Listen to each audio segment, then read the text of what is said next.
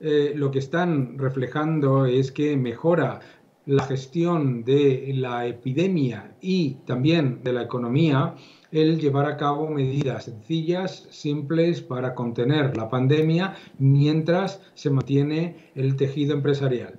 El año pasado Irlanda creció un 3%. Eh, y estamos viendo cómo países como Holanda, países de Asia, etcétera, más de 50 países en el mundo, eh, manteniendo el tejido empresarial y manteniendo la actividad económica, además de dar medidas serias, sencillas y efectivas para gestionar la pandemia, lo han hecho mucho mejor. ¿Qué es lo que ha hecho la Comunidad de Madrid?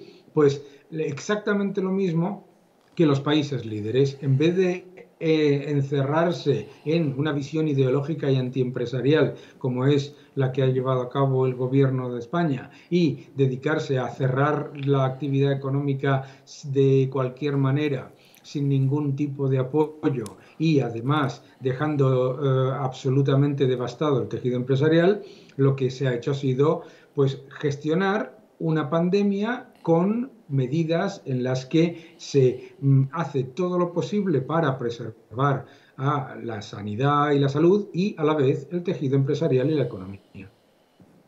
Don Daniel, la semana pasada Isabel Díaz Ayuso convocaba elecciones para el próximo 4 de mayo en la Comunidad de Madrid y lo hacía eh, cerrando su declaración con esta frase.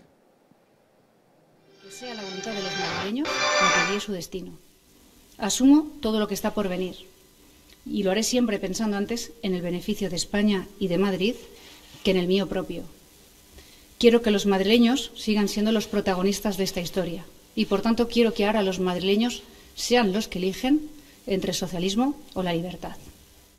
La frase de la presidenta nos evoca clarísimamente el título de su libro, ese de libertad o igualdad, que ya todo un éxito y del que supongo, sin lugar a dudas, que tendrán ocasión de comentar el próximo miércoles en la Fundación Rafael del Pino, cuando usted y Yanis Varoufakis se encuentren para hablar de cómo debe ser un mundo justo eh, y una economía ideal. Sin lugar a dudas, eh, acabarán hablando justamente de eso, ¿no? de lo que es intervencionismo frente al liberalismo.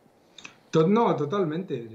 Socialismo o libertad es una frase absolutamente clave, porque el socialismo no tiene como objetivo ni el progreso, ni el crecimiento, ni el empleo, tiene como objetivo el control.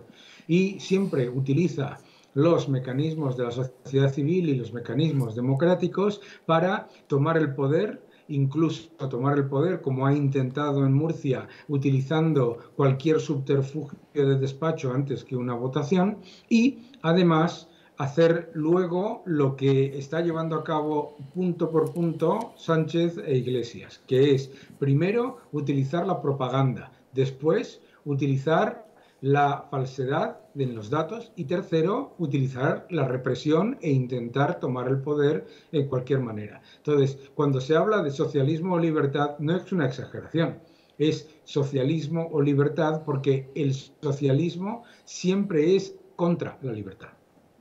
Pues estoy convencido de que será de lo más entretenido ver cómo usted defiende esas tesis frente a las del señor Varoufakis el próximo miércoles. Don Daniel Lacalle, muchísimas gracias como siempre por acompañarnos en Los Intocables. Muchas gracias, muy buenas noches. Muy buenas noches. Bueno, hablábamos de economía y tú querías responder a alguna cosa que había dicho Graciano.